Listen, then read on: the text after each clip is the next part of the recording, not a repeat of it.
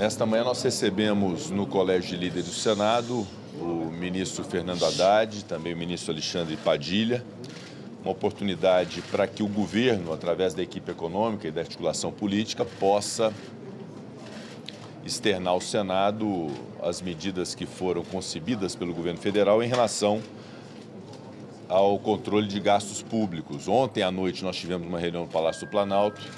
Na ocasião eu pude externar ao ministro Fernando Haddad a minha particular boa impressão em relação às medidas, mas obviamente nós estamos numa casa colegiada e essa oportunidade de falar aos líderes é uma oportunidade, além de indispensável, muito conveniente. Então foi uma reunião muito produtiva, muito esclarecedora. O ministro Haddad pontuou cada uma das propostas que está sendo, que, do pacote que está sendo feito pelo governo federal.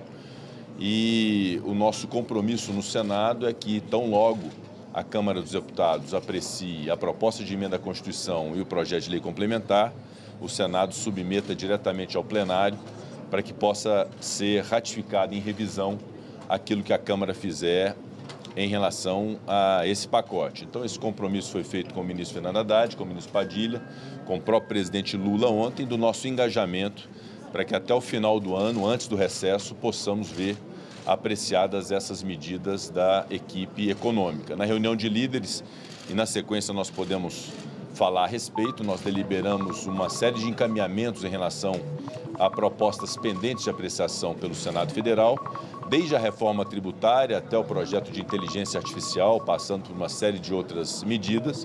Portanto, nós vamos ter três semanas de muito intenso trabalho no Senado Federal para que possamos chegar ao recesso parlamentar com a lei de diretrizes orçamentárias, com a lei orçamentária anual aprovadas e também com todas essas medidas legislativas apreciadas pelo Senado Federal. E agora se inclui esse pacote de governança, de, de controle, de conformidade que em boa hora o governo apresenta para poder ter o controle de gastos públicos. Essa medida também entra como prioridade do Senado para as próximas três semanas.